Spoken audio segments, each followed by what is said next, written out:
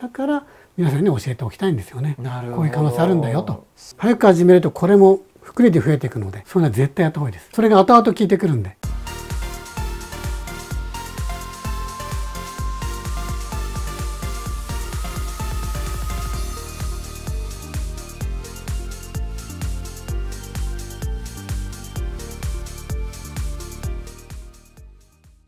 こんにちは。木村拓哉です今回も動画をご覧いただきありがとうございます。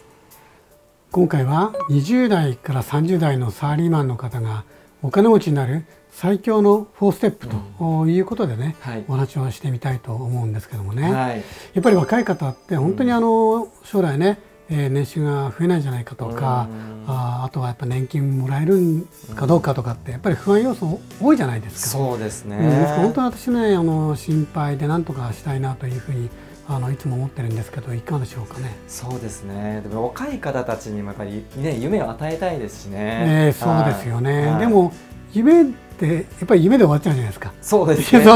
私は本当に夢じゃなくて現実にこうやればもちろん100%じゃないですけど、うん、こうやればあ十分お金持ちになれる可能性あるよっていうのをちゃんと作りたくてですね、はい、あのお伝えしたいんですけどもただこれから話す内容実は私40過ぎからスタートだったんですけど私やったので。あなるほど、うん、それを整理してやお話します。これ今の若い方たちに対しても再現性があるものということなんですかね？もちろんですね。なるほど、はい、じゃ今からでも可能性あるよと。あもちろんです。で私やったのは10年間ありましたけどもっと短くできるので。これは気になりますね、えー、えー、それをちょっとお伝えしたいので、ね、ぜひ最後までご覧いただきたいと思いますね、はい、であと最後にね特別プレゼントを用意してますんで、えー、最後までじっくり、えー、見ていただけたらと思いますね。はい、はいえー、ではまあ早速本題いきますけども、えー、まず、えー、ステップ1なんですけども、はい、これはですね大手企業に就職する、はい、または公務員もいいです。あ、公務員もね。はい。で、大手企業難しかったら大手企業のグループ会社でもいいです。なるほど。よくあるじゃないですか。はい、ね、えー、例えばトヨタさんであれば、はい、トヨタさんの物流会社とか、はい、システム子会社とか、はい、そういうのやっぱりあの同じような扱いをですね、はい、まあ後で話しますけど、ええ、不動産投資しやすいんですね。はい、あの銀行から融資を受けやすいってなんで、ちょっと先に話しちゃいましたけど、ええ。えー、そんな感じでまず就職段階でえこの後話すことのスタートが違ってくるので、はい、やっぱり大手信用のおける企業をまたは公務員に就職してまずちゃんとスタートを切る。いわゆるいい会社に就職しましょうそういうことでね。言い換えると属性をよくするって言うんですけどちょっと専門用語ですけどね、えー、はい、ですから30代の方で、えー、もう就職してるって方でも転職っていう手段がありますから、はい、これ結構私前でやってますよ転職して属性を上げてさらに上行くっていうそこ見越してっていうことですね。えー、そうです。えー、そうそうそれを含めた形のあのえっ、ー、と私の実践者私も教えしている方なんですが、この事例の方です。はい。これを見てない方。あの見ていただけたと思います。この方は転職して不動産もうまくいって、あと物販もやってて形でもう収入どんどん増やして4つの収入源まで増やしてるんですね。なるほど。はいはいはい、そんな感じでまずがステップ1ですね。はい、で次にステップ2これ2年目以降なんですけど、えーと、そういうところに就職でちゃんと真面目に、当然仕事をして、はいはい、えー、だんだんこう1年2年経ってくるとですね、えー、いよいよ私が推奨している不動産投資というのができるようになりますので、うん、ただもちろんねまだね若いと思うので、えー、最初は小規模かもしれません。ね、本当に一部屋とかね、ワンルームマンションとか、はい、ああいうものでも本当にいいです、うん、うん、まずスタートすることが大事ですね。はい、うんでもやっぱりちゃんと利益はあの得るような形がちゃんとできてますので、はいはい、うん、そして利益を得る。あと一方であのこれすごい大事なんですけど、はい、えそういったの就職したところってやっぱり能力開発とかそういったあの福利厚生というか結構充実してるはずなんですよ。ね、大手企業かグループ会社または公務員って、はい、うん、やっぱりそこはね最大限活用して、自分のスキルアップを高めるんですよ。スキルアップ、えー、そうです。具体的具体的にはどういった？あ例えば IT 関係のスキルアップであったり、えー、うん、あとは交渉術とか、はい、英会話とか、はい。えー、いろいろなものって用意されてるもんなんですよね。あじゃあ仕事に役立つものをそうです能力は高めていくわけですね、えーはい。えー、そういうのをねあの毎年いくらいの予算でとかってそれに上司と相談して、うん、あのカリキュラム組んでとかって、えー、時には職場から、ね、離れてね3日ぐらい外出てとかあったんですけど、はいはい、そういうのは絶対やった方がいいです。私もやった口です。なるほど。それが後々効いてくるんで。ですが本業に自分が今やってる仕事以外のものの方がかえって幅立ちできていいです。あそうなんですね。えー、そうですそうです、えー、例えば自分が IT 関係やったら経理関係とかね、はいはい、経理関係の人だったら IT 関係。あでいろいろそういうので自分の話をやっておくとすごくいいですよね。なるほど、はい、でそしてあとはですねそうそう。あの貯金はしなくていいですまだ。あしなくていい？そんなに。まあ、できたらいいんですけど。なるほどなるほど。それよりもやっぱり自己投資。にやっぱり本を買って勉強するとかセミナーに行くとか、はいえ。ー、自分のやっぱり能力とかをどんどん高める、うん、うん、のに費やした方が私はいいと思います、ね、なるほど、はい、はい、で次3ステップ目、はい、これ3年目以降なんですけども、えー、もうねやっぱりねあ不動産投資も始めて、はい、もう2つ目3つ目欲しくなってきてると思うんで、はい、これはもう買える範囲でどんどん買っていった方がいいと思います。なるほど、はい、はい、というのと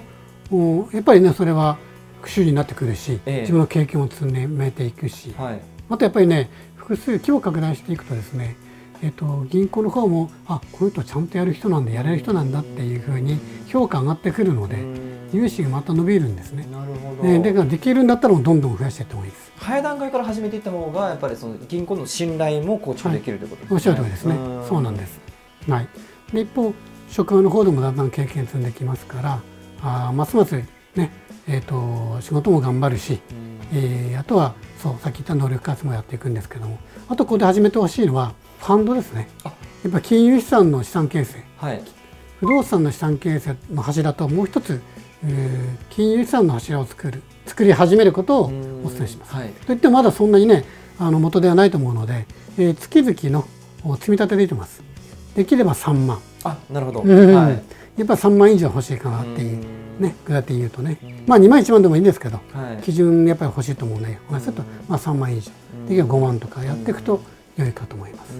早く始めるとこれも福利で増えていくのでそうですよねはい非常に良いですねこれ不動産で得た収入をこうファンドにそうですね。ということですよね。えー、そうです。決して無駄遣いしない。ああ、なるほど。ね、車買ったとかね、まだあんまそんなことやらずに。したくなる年齢だと思うんですけど、はい、給与の中でね、はい、あの十分生活もできると思うし、はい、まあ言って給与の一部、ボーナスなども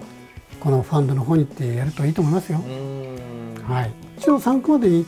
こちらの方の金さんの福利の威力っていうのはすごいので、これも角度があるんで、見てない方はこれですけど、はい、見ていただけたらと思います。はい、あとさらにですね。時間がもう結構気に乗ってきて時間が何かしたいなっていう方向けにですね物販がいいと思います。物販おすすめなんですね。まあ副業ですけどね。はい、副業という意味で物販、ネット物販とも言われてますけど、はい、会社終わった後は土日に安く仕入れてそれをネット上に出してそして高く売るでこの最強得るってことなんですけど、えこれもいいですよ。これもあの先ほどの事例の方、はい、うん、やってたんですけどもね。えーと、本当に月に10万15万20万もう23か月目からできてますそういうものなんですよ。えー、あそんなに早く、えー、そうです結果成果出せるものなんですね。えー、ですからね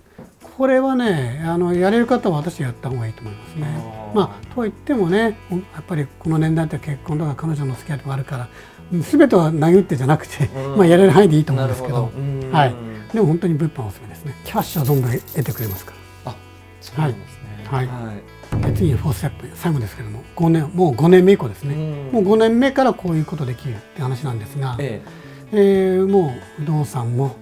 もうもう3つ目4つ目とか言ってると思います。これも可能であるならば、えー、増やしていくのがいいと思います、もちろん本人やる気あればね、はいえー、もうこれは増えれば増えるほど、はい、もちろんいい物件ですけども、はい、実績どんどんつけれていくし銀行の信用も上がっていくので、はい、自分の知見も広がるので、はい、えー、やっていけたらいいと思うんですよね。うん、であとやっぱりもう5年も経つと本当に世の中のこととか分かってくるし、ええ、その会社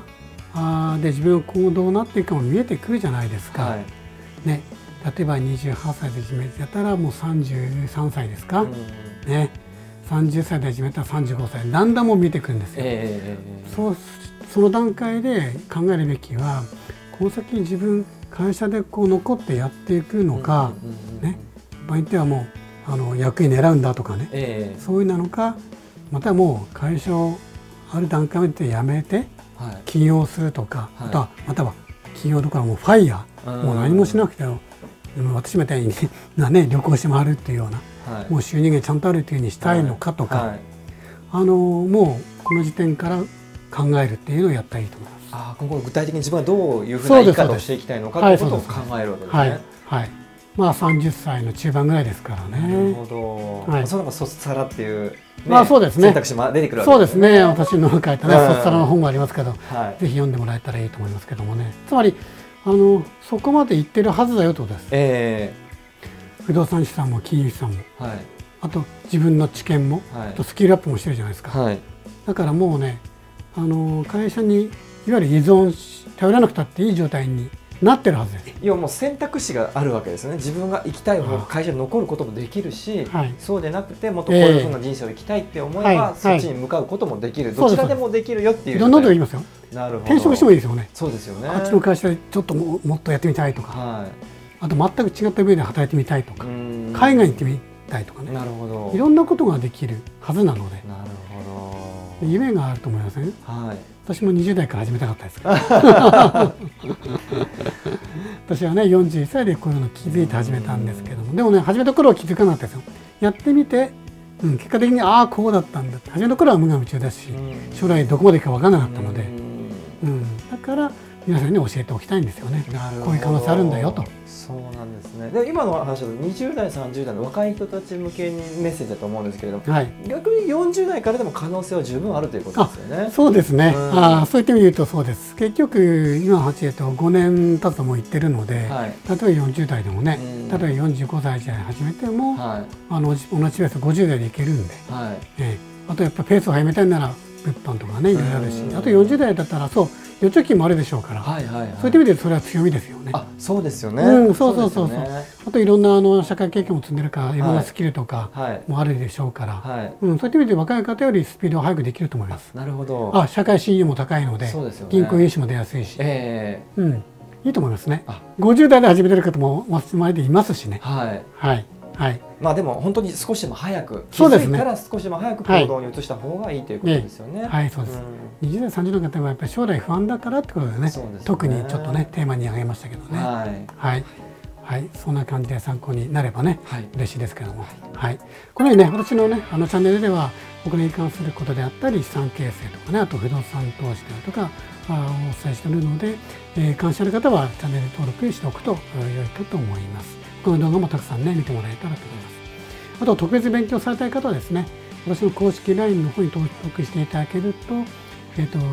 私の成功法則とか、不動産投資法について、えー、話している動画16本無料でプレゼントしてますので、下の備考欄にある方で登録していただけると